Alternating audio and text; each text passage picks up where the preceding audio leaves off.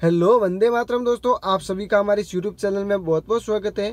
तो दोस्तों, आज मैं बैठा हूँ एर्टिगा सी के अंदर और आज की इस वीडियो में मैं आपको बताऊँगा कि जो एर्टिगा सी का ब्लूटूथ आता है, वो आप फ़ोन के साथ कैसे पेयर कर सकते हैं। तो दोस्तों, आज मैं वीडियो नाइट लुक में बना रहा हूँ, क्योंकि जब, दोस्तों, जब भी मैं वीडियो दिन में बनाता हूँ तो जो डिस्प्ले का लाइट है, वो आपको दिन में शो नहीं हो पाता है। इसलिए मैं आज नाइट लुक का वीडियो ले रहा हूँ, ताकि आपको जो डिस्प्ले का लाइट है, वो आसानी से शो हो सके। तो दोस्तों, अगर वीडियो पसंद आए तो वीडियो को लाइक और चैनल को सब्सक्राइब करना न भूलें। तो चलिए शुरू करते हैं।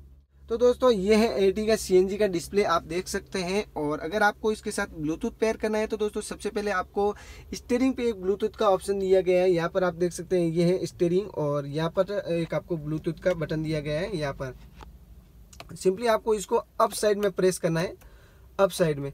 अप साइड में ऐसे प्रेस करेंगे तो आप देख सकते हैं डिस्प्ले में आपको कुछ ऐसा इंटरफेस देखने को मिल जाएगा। यहाँ पर आपको दो ऑप्शन देखने को मिलेगा सेटअप ब्लूटूथ या फिर सेटअप टेलीफोन तो सिंपली आपको सेटअप ब्लूटूथ वाले पे क्लिक करना है। क्लिक करने के लिए यहाँ पर सिक्स नंबर वाला एंटर वाला बटन है, उस पर आपको क्लिक कर लेना है।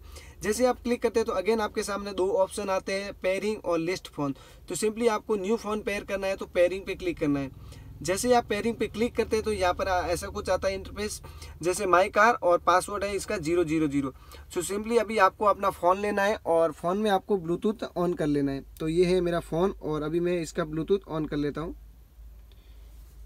तो दोस्तों, मैंने मेरे फ़ोन में ब्लूटूथ ऑन कर लिया है, आप देख सकते हैं और सिंपली आपको नीचे की तरफ़ देखना है। आप जैसे नीचे की तरफ़ देखेंगे तो यहाँ पर आपको नीचे एक ऑप्शन शो होगा अवेलेबल डिवाइस यहाँ पर आपको अवेलेबल डिवाइस में माई कार का ऑप्शन देखने को मिलेगा। सिंपली आपको उस पर क्लिक कर लेना है। अगर दोस्तों आपके मोबाइल में नहीं बता रहा है तो आप यहाँ पर ऊपर आपको सर्च का ऑप्शन दिया होता है। वहाँ से आप सर्च करके माई कार वाला ऑप्शन भी फाइंड कर सकते हैं। तो सिंपली अभी मैं इस पर क्लिक करता हूँ।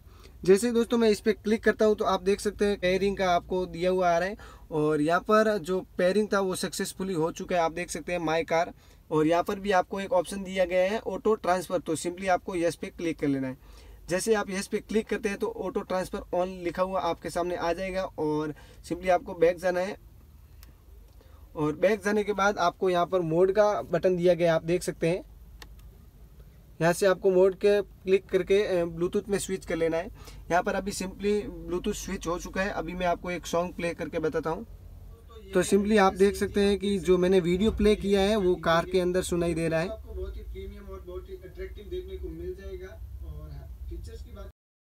तो दोस्तों आज की इस वीडियो में बस इतना ही। मिलते हैं नेक्स्ट वीडियो में। जब तक के लिए जय हिंद वंदे मातरम।